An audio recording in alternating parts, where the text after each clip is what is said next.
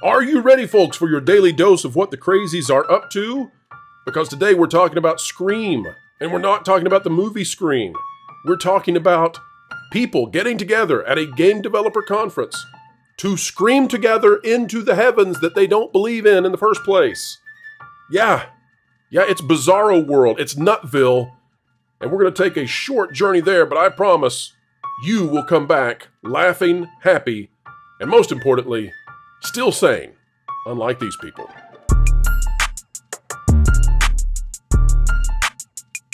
Hello, ladies and gentlemen. Welcome back to the Pro Channel. As always, it is a pleasure, truly.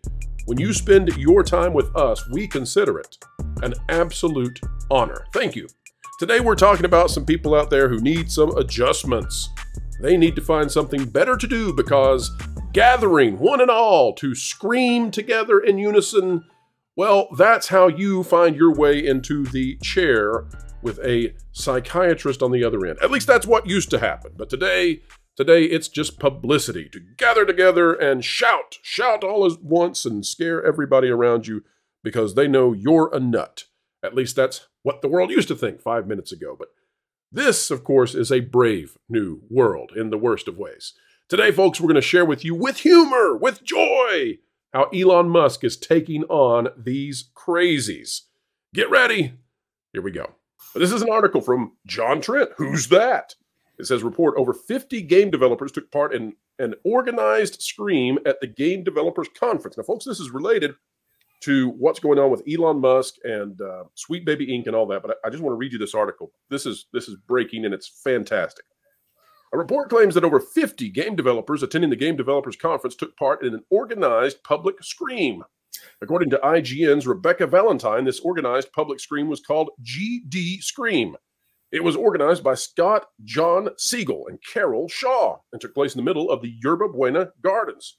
Siegel informed Valentine that the purpose of the scream was to have a moment of good of feeling good. I know screaming makes me feel good a moment of camaraderie. Nothing says, hey, let's be a family like screaming at one another.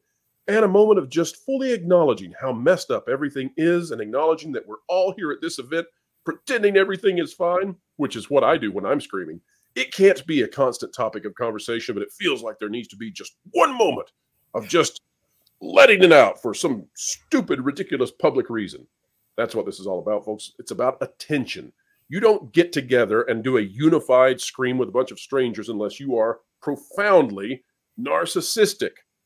Well, let's continue the journey as we make our way to the Elon Musk portion of this first story, and that is that Kotaku editor in chief Jen Glennon has resigned.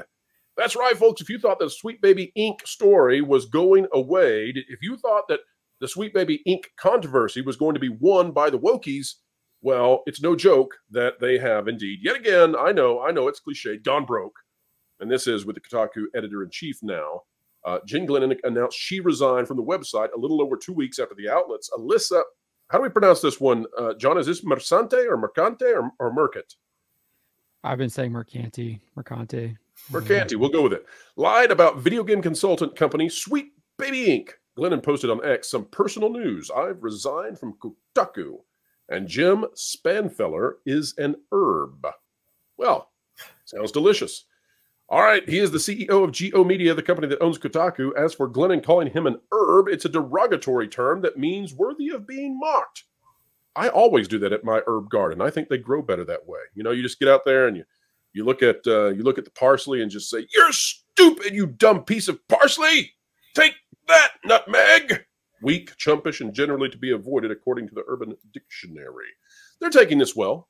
She's taking. I've never heard of that term before. An herb.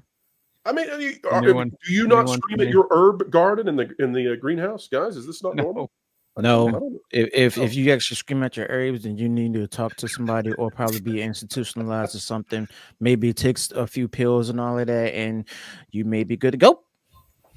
Maybe no. I I, I just thought it was an interesting thing to make personal attacks, epithets against your cilantro, but who knows? Continuing along with the destruction of the video game industry, folks, Elon Musk reacts to Leslye Headland describing the Acolyte as lesbian fan fiction with a Star Wars veneer. Now, how does this connect? Well, Elon Musk, folks, has been on absolute fire taking on the absolute abject wokeness that is uh, consuming the Western world, at least on the margins. So Elon has weighed in on uh, Leslye Headland and the Acolyte. This was actually the video that we did this morning on the WDW Pro channel. If you've not seen it yet, boy, oh boy, are you missing something. Um, apparently, Leslye Headland based the Acolyte on Frozen, a alphabet version of Frozen. And Kill Bill. That Frozen is. Yeah. Yeah. Let it sink in, folks. Let it sink in. It's uh it's frozen in space. Um so anyway, uh, this is uh, this is Elon Musk re- reporting back to that, and we thank him for that because um, that was a signal boost like you've never seen for the channel when Elon Musk uh, picked the same topic we and, uh, that went well. Something that's not going well though, Elon Musk weighing in again on Sweet Baby Inc. This is the story. He says Sweet Baby Inc. Remember, this has already caused Kotaku editor in chief to resign. It's already caused them to gather together for a unified scream. Well, Elon Musk says that uh, Sweet Baby Inc. is an evil blight on the gaming industry. Maybe that's why all 50 of them out of thousands, by the way, thousands, 50, they got 50 out of thousands. That's not a great percentage. Maybe that's why 50 nut jobs got together to scream to the heavens that they don't believe in. Elon Musk declared Sweet Baby Inc. as an evil blight on the gaming industry after one of the company's employees, Chris Kindred, attempted to cancel Asmongold after it was announced he was turned into an official pawn by Capcom for Dragon's Dogma 2. Got to get that gate. Got to keep the gate. Be a gatekeeper. Don't let Asmongold through. Don't let him get official connections with companies. Not allowed. He's bad. He's bad. He's white. He's straight. Look at him. Pasty. The official Dragon's Dogma account announced Drag uh, Asmongold, along with a number of other YouTubers and streamers, would be available as official pawns in the game in a post to X on March 15th. You guys get the idea. That was not allowed.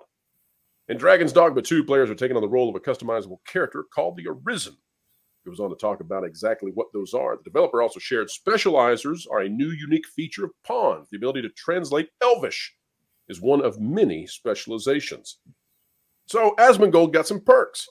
And then they didn't like that. Sweet Baby Inc. employee Chris Kindred reacted to this announcement that Asmongold was one of the official pawns by accusing him of engaging in harassment. Kindred wrote, That's crazy. Isn't one of these people an active participant in a harassment campaign? Clearly trying to get the major gaming company to drop Asmongold because he disagrees with it. Folks, it's a fantastic article, but here's where it arrives for the purposes of this live stream. Elon Musk weighs in yet again. Uh, not only did he weigh in with the acolyte, but Elon Musk says Sweet Baby Inc. is an evil blight on the gaming industry. All they do, all they do is make games terrible and try to cancel people. They cannot go broke soon enough. Boy, what a spotlight to be shown upon them. Matt, give us a rundown of what you think is going on with Sweet Baby Inc. And do you think that the, the backlash is winning? Oh, the, the the backlash is definitely winning. I want to say that Elon Musk is swimming in YouTubers' wake, like WDW Pro, and in a good way. Not not to say that him uh, mentioning all this and uh, making huge waves in the media isn't a bad thing, but uh, I just I I uh, I think that he uh, he really he really is concerned about the woke mind virus infecting America's youth because he has children. This is comes from a real place, and everyone has a child, and they're always concerned if video games are doing more harm than good. And I think in this case, we see that they can do tremendous harm. And um, I just uh, I hope that he continues to follow the great work like at that park place and uh and i we're in this for the long haul. Video games are too profitable for corporations of America and the world not to stop trying to manipulate the world's youth into largely constantly engaging with the video game of today. They're completely different. Like when I was young, it's all about engagement. And so, um, yeah, big picture, Way to go, Elon Musk. Thank you so much. Hughes, I've got a theory, and Matt, great comments. Hughes, my, my thought here is that Elon Musk is the kind of man who wants to take uh, humans to Mars. He wants to land rockets. He wants to uh, have a boring company that isn't boring, but rather it is boring under the ground. He is a man on a mission to make massive technological advancements. He is, in my estimation, the only positive thing inside the EV market, and yet they hate him ever more. Uh, but Hughes, I think the reason that Elon Musk is weighing in on these kinds of issues, such as Sweet Baby and Leslye Headland, and, and maybe perhaps he is a reader of that Park Place at this point. Uh, I would say the minority of people out there are not readers of that Park Place. Uh, welcome to the majority, folks. But I think that Elon Musk is weighing in because he sees the woke mind virus as being so bad that it could actually be a deterrent for the future of humanity. Is that the way you assess this? Have, has the woke gone so far at this point that they actually endanger society? I mean, that should have been a question asked about five or five or six years ago. I mean, obviously it was worse than it is now and everything, but it's just right now they panic even harder because of the simple fact that you know they see that they're losing. It's an uphill battle for them to the point where now they're going to go ahead and dig their own graves and stuff. Everybody forgets that Elon Musk is a gamer. Okay, this dude is a gamer. What do you think he was doing when he was in college? He was gaming, okay, while studying and letting his big mind grow even further and stuff. But the, the point is, at the, at the end of the day, he's not just a businessman, he's not just a father, he's also a gamer. Well, I, think, I, think, he's I more in tune. He's more in tune with America than than yes. He's more oh, in tune no with doubt. America than the Walt Disney Company or Kathleen Kennedy or Bob Iger. He's just more no in tune. He he is a billionaire, but he has common sense. He can read a newspaper, read the internet, watch YouTube, watch Views with Hughes. Who says he's not watching Views with Hughes? I, I well, suggest he everybody out there subscribe to Views with Hughes if you're not. But we all see it, don't we? We all see it. Average folk in the audience. No one has to be an expert. But go ahead, Pro. Well, what, what I was going to say is you're exactly, both of you are exactly right. Mm-hmm. And this is why we have made this analogy so many times on the channel and it connects with people. People truly feel this when we say it. Think about it. And some of you out there, this is your first time ever joining the show and seeing what this is about. Um, just think this way Are you more like the former personal assistant to one Mr. Weinstein, Leslye Headland, who is now running the Acolyte, the showrunner, writer, director, what have you? Or are you more like Gina Carano? And you see how these companies treat Gina Carano and you see how they esteem Leslye Headland. So, how would they treat you? And I'm here to tell you, you're the majority. You're the sensible center. You are easily the majority on this. I want to go to John, though. John, you every day are taking on the woke mind virus, right? Which is a quasi religious belief system. Otherwise, how do you get people coming together in unison to scream together at a conference in public, right? Let's remember this, folks. This is this is real. This is the article. Over 50 game developers took part in an organized scream. All right. That's some sort of bizarre religious ritual. People who it's visit, not a good one. People who visit nature preserves, they love it when people come in and start screaming. It's awesome. The plants love it. The animals love it. It's so considerate. Go ahead, yeah. John. Well, and then when you insult people with botanical terms, calling them herbs, totally. Yerba buena, it's the good herbs in Spanish. I, I, I want right. to go there now, but not John. Spanish. John, as as someone who takes on the woke every day, what is so nefarious about wokeism? I, I, you're you're gonna love this, John. What is so nefarious about wokeism? I see the gears ready to go.